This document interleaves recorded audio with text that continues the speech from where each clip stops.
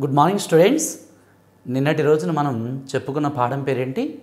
అచ్చుల పరిచయం. అచ్చుల పరిచయం పాఠంలో మనం ఏం చేసామంటే అచ్చుల్లో ఉన్న ఒక్కొక్క అక్షరం గురించి ఒక్కొక్క చిన్న పాఠంలా చెప్పుకొని వాటికి సంబంధించిన పదాలు మనం చెప్పుకొని రాసుకొని ప్రాక్టీస్ చేసుకున్నాం. సరే అచ్చుల తర్వాత ఉండేవి ఏంటి?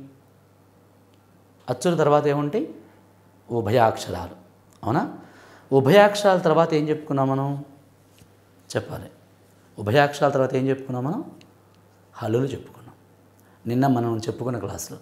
కానీ వాస్తవానికి అచ్చుల తర్వాత హల్లు హల్లుల తర్వాత ఉభయాక్షలు ఎక్కువగా చెప్పుకుంటూ వస్తాం. కాకపోతే మనకున్నటువంటి టెక్స్ట్ బుక్ ప్రకారం మనం ఏం చేస్తామంటే అచ్చుల తర్వాత ఉభయాక్షరాలు చెప్పాం ఉభయాక్షరముల తర్వాత హల్లులు చెప్పాం. కదా? ఇంతకుముందు జరిగిన క్లాస్లో మనం చెప్పుకున్నదే కానీ వాస్తవానికి వర్ణమాల చార్ట్ కనుక మనం తీసుకున్నట్లయితే దాంట్లో మనము ముందు అచ్చులు చెప్పుకుంటాం వాటి తర్వాత చెప్పుకునేవేంటి? హల్లులు కదా? ఇవాళ మనం చెప్పుకునే పాఠం పేరు హల్లుల పరిచయం. పాఠం నెంబర్ ఎంత? చెప్పాలి. పాఠం నెంబర్ ఎంత? ఐదు కదా? రైట్ ఇవాళ మనం చెప్పుకున్న పాఠం ఏంటి? హల్లుల పరిచయం. చూడండి బోర్డు మీద రాస్తున్నాను. హల్లుల హల్లుల పరిచయం. ఇప్పుడు చిన్న విషయం చెప్పాలరా మీకు. ఆ చిన్న విషయం చెప్పిన తర్వాత లెసన్కి వెళ్దాం. ఓకేనా? ఏమా వింటున్నారా? ఏం అర్థమవుతుంది అందరికీ? ఏంటి ఆ విషయం అంటే ఈ హల్లులకి మరో రెండు పేర్లు ఉన్నాయి ఏంటో తెలుసా ఆ పేర్లు? హల్లులు అనే ఒక పేరు కాకుండా వ్యంజనములు అని ఇంకో పేరు ఉంది వాటితో పాటుగా ప్రాణులు అని మరొక పేరు కూడా ఉంది. వ్యంజనములు ప్రాణులు అనే రెండు పేర్లు కూడా ఉన్నాయి. అంటే ఇప్పుడు మీరు ఫస్ట్ క్లాస్ వాళ్ళే కాబట్టి మీకు ఆ పేర్లకు సంబంధించిన ప్రశ్నలు రావు. కానీ మీకు ఒకసారి ఆ పదాలు మీకు తెలియాలని చెప్తున్నాను. అల్లులుకున్న మరొక పేరేంటి? వ్యంజనములు ప్రాణులు అనే రెండు పేర్లు మరి మనకు ఉన్నాయి అన్నమాట ఓకేనా? రైట్ నాన్న మనం నెక్స్ట్ లెసన్లోకి వెళ్ళిపోదాం. రైట్నా చూడండి టెక్స్ట్ బుక్ ఓపెన్ చేసుకున్నామా? టెక్స్ట్ బుక్ పేజ్ నెంబరు ఎంత? పదిహేడు. పదిహేడవ పేజీ అందరూ కూడా తీసి చూడాలి. రైట్ నాన్న? నాన్న హల్లుల యొక్క పరిచయం అనే పాఠం మనం హెడ్డింగ్ పెట్టుకున్నాం. దీనిలో హల్లులో మొట్టమొదటి అక్షరం ఏంటి? కా. కదా? చూడండి ఒకసారి ఇటువైపు చూడండి. మొట్టమొదటి అక్షరం ఏంటి? కా. ఇప్పుడు మనం కా అనే అక్షరం ఉంది కదా? మీ టెక్స్ట్ బుక్లో ఒకసారి చూడమని చెప్పారు చూడండి ఒకసారి తీయండి. పదిహేడవ పేజీ నెంబర్ తీయండి. పదిహేడవ పేజీలో మీ టెక్స్ట్ బుక్లో ఏం చేస్తారంటే ఈ కా అనే అక్షరం ప్రక్కన ఒక బొమ్మ ఇచ్చారు. చూసారా? ఏమి ఇచ్చారు బొమ్మ? ఏముంది అక్కడ బొమ్మలో చూడండి ఒకసారి. ఎవరో మధ్యలో నీలి రంగులో ఒక మనిషి ఉన్నాడు బ్లూ కలర్లో ఇటువైపు ఒక మనిషి ఉన్నాడు అటువైపు ఒక మనిషి ఉన్నది. ఏమా వాళ్ళ చేతిలో బాణాలు ఉన్నాయి ఎవరని ఎవరేం తెలుసా మీకు? ఎవరో వీళ్ళు తెలుసా మీకు? వెరీ గుడ్ రాముడు కదా? రాముడు లక్ష్మణుడు ఆమె పేరేంటి? సీతమ్మ. రైట్ నానా గుడ్ సరే ఈ ఈ బొమ్మను బట్టి మీరు ఏం గ్రహిస్తున్నారు? ఎవరనుకు ఎక్కడికి వెళ్తున్నట్టు అనుకున్నారు మీరు? తెలుసా మీకు? తెలియదా రైట్ వీళ్ళు అడవికి వెళ్తున్నారు అనమాట రైట్నా? ఈ బొమ్మకి ఇక్కడున్న ఈ మూడు అక్షరాలకి ఈ మూడు వాక్యాలకి సంబంధం ఉంది ఇప్పుడు మనం ఒకసారి చూద్దాం. చూద్దామా?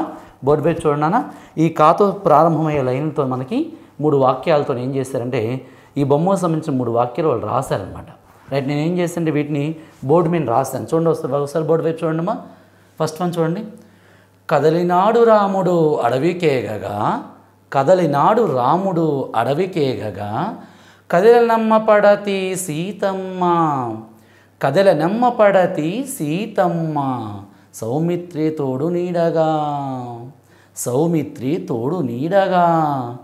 కదలినాడు రాముడు అడవికేగగా అంటే అర్థం ఏంటంటే కదలినాడు రాముడు. రాముడు కదిలాడట.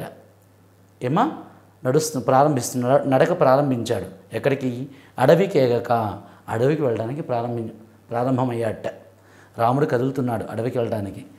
కదలనమ్మ పడతి సీతమ్మ పడతి అంటే స్త్రీ అని నాన్న అర్థము. ఓకేనా? కదలనమ్మ పడతి సీతమ్మ. కదలనాడు రాముడు అడవికేగగా. కదలనమ్మ పడతి సీతమ్మ. సౌమిత్రి తోడు నీడగా. రాముడితో పాటు కదలనమ్మ పడతి సీతమ్మ. సీతమ్మ కూడా రాముడితో పాటే ప్రయాణం అయిపోయిందంట. ఎలాగా? సౌమిత్రి తోడు నీడగా. సౌమిత్రి అంటే ఎవరు తెలుసా మీకు? సౌమిత్రి అంటే లక్ష్మణుడే. లక్ష్మణుడుకున్న మరొక పేరు సౌమిత్రి. ఓకేనా ఎవరెవరు వెళ్తున్నారు? రాముడు సీత లక్ష్మణుడు. ఈ ముగ్గురు కూడా అడవికి ప్రయాణం అయిపోయారట అందుకే ఏం చెప్తున్నాడు చూసారా? కదలినాడు రాముడు అడవికేగగా కథల నమ్మపడతి సీతమ్మ. కథల నమ్మపడతి సీతమ్మ.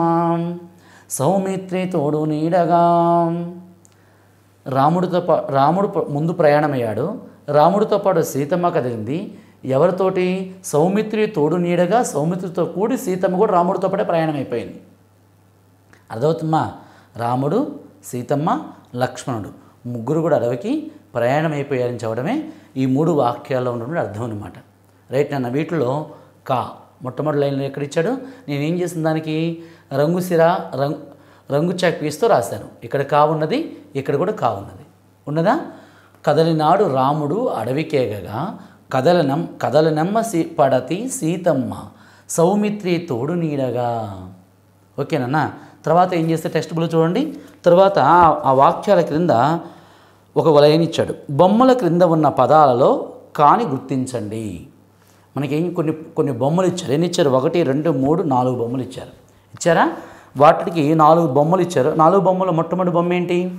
చెప్పాలి అందరూ కూడా. మొట్టమొదటి బొమ్మ ఏంటి? ఏంటి ఆ బొమ్మ? చెప్పాలి. ఏంటిది? రైట్ కన్ను కదా? కన్ను. రాద్దాము బోర్డు మీద. చూడండి.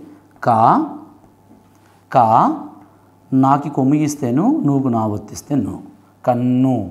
ఏం చేయాలి మనం? ఆ బొమ్మల కింద ముందు పేర్లు రాయాలి. రాద్దామా? మొట్టమొదటి బొమ్మ ఏంటి? కన్ను. ఓకేనన్నా కా నాకు కొమ్మిగిస్తేను నువ్వు నా ఒత్తిస్తే ను కన్ను. తర్వాత రెండవ బొమ్మ ఏంటి? చెప్పాలి. రెండవ బొమ్మ ఏంటి అన్నది? Right very good. కత్తి కదా? కా చూడండి ఒకసారి. కా తాకి గుడి ఇస్తే తీ తాకి గుడి ఇస్తే తీ తీకిన తావతిస్తే తీ. కత్తి కత్తి. ఇందులో కా ఉందా లేదా? Right very good. కా ఉంది కత్తి. తర్వాత మూడవ బొమ్మ ఏంటి? మూడో బొమ్మ ఏంటిది? కుండ బొమ్మ కదా కుండని ఏమంటారు? కడవ రైట్నా గుడ్ కడవ. కా డ వా. కడవ కా డ కడ వా కడవ. ఓకేనా దీనిలో కా ఉందా? ఉంది కదా రైట్ నెక్స్ట్ ఫోర్త్ వన్ ఏంటి? ఫోర్త్ వన్ ఏమి ఇచ్చాడమ్మా? ఓ చెంబు ఇచ్చి ఆ చెంబు పైన ఒక ఆకులు పెట్టేసి దాని మధ్యలో ఒక కొబ్బరికాయ పెట్టారు. దాన్ని ఏమంటారు తెలుసా మీకు? తెలుసా మీకు? తెలీదా? రైట్ నేను చెప్పు చూడండి. కలశం. దాన్ని ఏమంటారు? కలశం.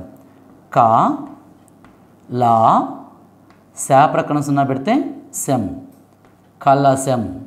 క లా కల శా ప్రకరణ సున్నా పెడితే శం. కలశం. మళ్ళీ ఒకసారి చూడండి మొదటి మొదటి నుంచి చూడండి ఒకసారి పదాలు. మొట్టమొదటి బొమ్మ పేరేంటి కా. నాకు కొమ్మిగిస్తేను నువ్వు నావతిస్తేను. కన్ను. రెండవ బొమ్మ ఏంటి? కా తాకి గుడిస్తే తి తీ కింద తావతిస్తే తి కత్తి. కత్తి. మూడవ బొమ్మ ఏంటి? క డ వా కడవా కడవా నాలుగవ బొమ్మ ఏంటి? క ల సం కలశం. అంతే కదా?